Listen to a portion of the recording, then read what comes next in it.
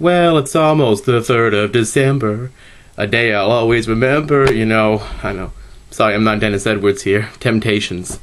I know. Papa was a Rolling Stone. Anyway, this is my um, YouTube vlog for uh, December 2nd, 2011.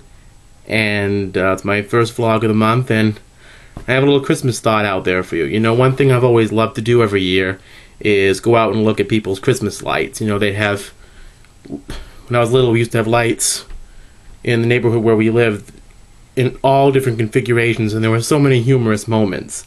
I remember somebody had a peace on earth sign, and um, part of the E was actually out, so it had the picture of the Virgin Mary and the baby Jesus, and underneath it, it looked like it said place. I said, What is place on earth? I don't get that. And um, they had another tree full with lights, and instead of saying Merry Christmas, it said Bah Humbug in big blue letters. And, you know, you get a kick out of that because it's so random and so wrong, really, for the season.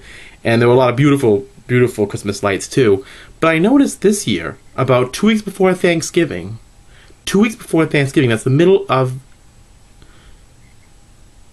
November, and there was 55 degree weather at that time people already have their Christmas lights out. And then they'd have their Christmas lights out. Somebody across the street would have bigger lights out. And then people across the street would have bigger ones. By the time I came back from Boonton for Thanksgiving, they started to be all over the place. And the season hadn't really begun to me. And I'm wondering if Charlie Brown was kind of right. If Christmas had gotten a little too commercial. But, you know, I'm not going to let all this stuff, you know, ruin my Christmas. And I think it's competitive. I think a lot of it is competitive. I think people see something, they got to do it a little better. Got to do it a little better. You know, the American way, as they say. anyway, uh, here's a question I have to pose for you. Another new idea for a YouTube videos aside from responding to other videos like I did in the last one. Question. If you're going to have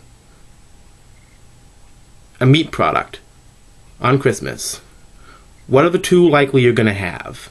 A turkey or a goose? Plump Christmas turkey, plump Christmas goose.